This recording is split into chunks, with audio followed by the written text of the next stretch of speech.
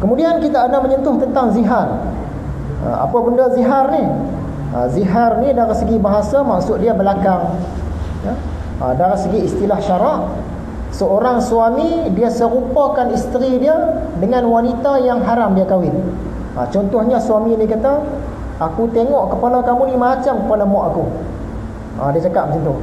Kan abang tengok belakang adinda ni macam belakang mak. Apa tujuan dia buat macam tu? Dia nak pelekeh isteri dia. Ha, zaman jahiliah dulu dia nak pelekeh isteri dia bila dia cakap macam tu selama-lamanya dia tak akan bersama dengan isteri dia lagi dah. Ha, bila datang Islam, Islam tak bagi buat macam tu. Ha? Ha, benda ni kita kupas panjang dulu, kita imbas sepintas lalu sajalah. Ha? Ha, jadi kalau kita dah terzihar isteri kita, ha, ada cara-cara melepaskan diri. Yang pertama boleh merdekakan hamba. Zaman sekarang hamba tak ada. Ya? Ha, zaman akan datang tak tahulah. Kok-kok kita ada kembali daulah Islamiah peringkat dunia, kita berperang dengan orang-orang kafir, kita dapat tawan mereka, ha, mungkin ada hamba balik. Kalau tak boleh merdekakan hamba nak buat macam mana? Ha, peringkat yang kedua, kita kena puasa dua bulan berturut-turut. Ha? Puasa dua bulan berturut-turut tak boleh selang. Kalau tertinggal sehari, kena ulang balik. Ha, jenuh. Seandainya tak mampu berpuasa, ha, dah tua, tak larat, ada gastrik, maka cara penyelesaian dia, dia kena bagi makan kepada 60 orang miskin, satu orang secupak makanan asasi. Ha, kalau di tempat kita ini, makanan asasinya ialah beras. Ha, kita bagilah satu orang miskin, satu rumah orang miskin, secupak beras. Ha, secupak, secupak, secupak. Kalau negara-negara lain ikut makanan ruji dia lah. Ada negara yang makan jagung, ha, ada yang makan bali, ha, ada yang makan gandum dan lain-lain. Ha, dan yang terakhir kita sentuh pasal li'an. Li'an dari segi bahasa maksud dia berjauhan. Dari segi syarak Maksudnya beberapa perkataan tertentu yang dijadikan hujah oleh suami untuk menuduh isteri yang menjemukan tempat tidurnya dan menutup keinginannya. Ha, contoh dia macam ni. Suami balik-balik rumah, tengok-tengok isteri duduk atas kaki dengan lelaki lain. Ha, macam mana cara cara suami ni nak dapat keadilan? Ha, dia boleh mengadu kepada uh, hakim lah zaman dulu ha, Tapi zaman sekarang kita tak apa pakai undang-undang ni kan Sebab apa? Ada li'an ni Bila kita nak menuduh satu-satu orang tu terlibat dengan zina Maka kita kena letak empat orang saksi. Tapi suami ni tadi balik-balik rumah Tengok-tengok isteri dia bersama dengan orang lelaki lain. Dia tak ada empat saksi. Macam mana dia dia nak dapat pengadilan? Ha, Cara dia Suami tadi kena pergi jumpa Qadi Dan dia bersumpah. Ha, yang ni yang dikatakan sumpah laknat. Ha, contoh dia, suami ni cakap, aku naik saksi dengan nama Allah, aku berkata benar bahawa isteriku berzina. Dia kena sebut empat kali. Ha, wallahi isteri aku berzina. Wallahi isteri aku berzina. Dia sebut empat kali dan yang last tu, laknat Allah ke atas aku sekiranya aku berbohong. Ha, yang ni sumpah laknat. Ha, bila suami cakap macam tu, dia boleh ganti empat orang saksi tadi ha, tak payah bawa empat orang saksi isteri dia boleh kena hukum dah ha, isteri dia boleh kena hukum. Tapi yang ini dia khusus untuk suami isteri. Ha, li'an ni untuk suami isteri. Kalau kita orang biasa kita ternampak perempuan lain terlibat dengan zina kita nak buat li'an tak boleh. Ha, ni untuk suami dapat pembedaan macam mana pula kalau isteri tadi tak bersalah? Ha, suami dia saja-saja nak berkenal dia Si isteri pun dia boleh bersumpah juga. Ha, ada cara melepaskan diri dan uh, mengikut agama Islam.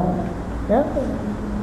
Isteri pun boleh bersumpah contohnya isteri ni akan bercakap sebanyak empat kali berikrar empat kali aku naik saksi dengan nama Allah ha, suami aku menipu ha, wallahi suami aku menipu wallahi suami aku menipu wallahi suami aku menipu laknat Allah ke atas aku Sekiranya suami aku cakap betul ha, Bila isteri dia cakap macam ni Isteri dia terlepas daripada Kena hukuman hudud. Ha, Selamat. Jadi Islam bagi penyelesaian. Bila dah li'an Maksud dia mereka ni kena bercerai. Ha, Kena bercerai.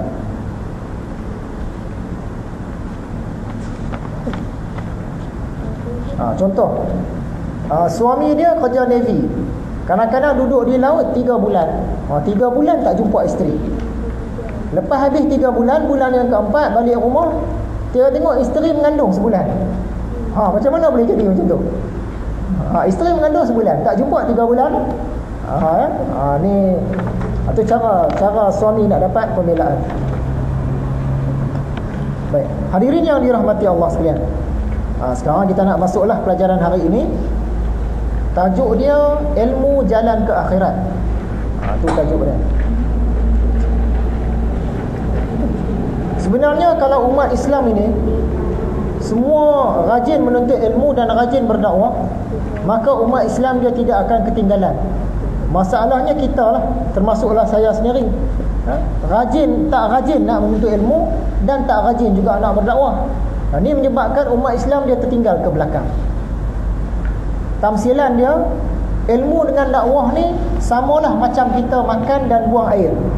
Ha, tiap-tiap hari kita kena makan. Maksud dia tiap-tiap hari ilmu agama dia kena masuk dalam diri kita. Tiap-tiap hari kita kena buang air. Sama ada buang air besar ataupun buang air kecil. Ha, maksud dia setiap hari kita kena berdakwah. Ha, dan berdakwah ni ada cara-cara dia lah. Ha, orang yang besar, cara dia. Oh, kita yang kecil-kecil, cara kita. Jadi ilmu dengan dakwah ni, samalah macam makan dengan buang air. Ha, tiap-tiap hari kita makan, tiap-tiap hari kita buang air. Ilmu kena masuk tiap-tiap hari dalam diri kita.